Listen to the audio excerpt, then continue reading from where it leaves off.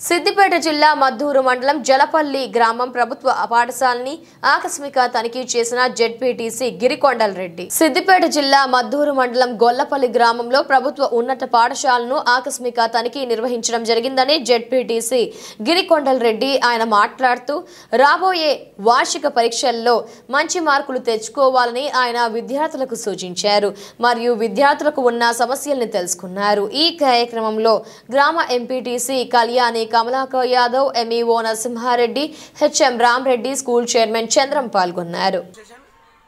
Important sir ఒకసారి రాకపోతే మళ్ళీ ఒకసారి చెప్పాలి. అర్థమైందా?